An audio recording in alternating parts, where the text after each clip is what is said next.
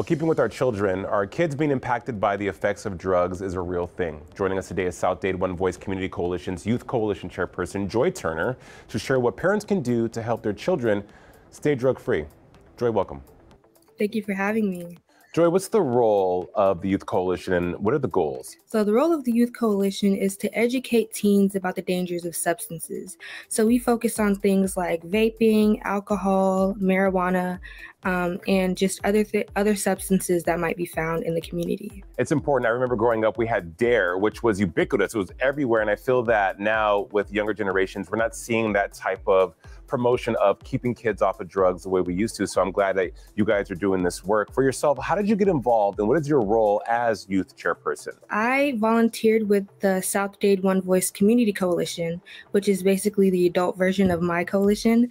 Um, and after volunteering with them for a few events and going um, into the community with them, they invited me to become their youth chair.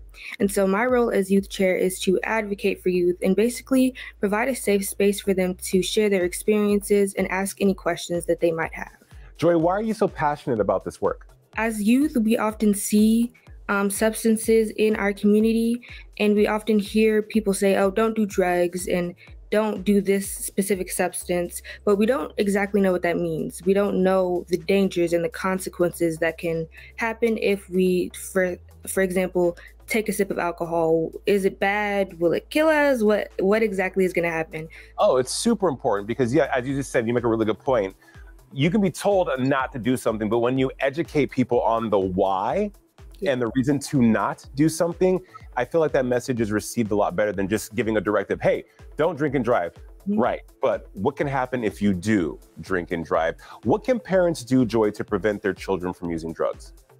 I would say create a safe space for them to come to you as as someone that is just learning about substances. So if they have a question, you know, let them know if you have questions, you can come to me. I'm going to answer them. I'm not going to judge you. I'm not going to dismiss you or invalidate whatever questions that you have.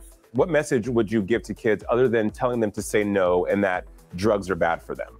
I would say to think about your future. You know, substances don't only affect you, they can affect your friends, they can affect your family, even strangers that you don't know. Um, so think about how these things that you're trying or experimenting with affect you and the people that are around you.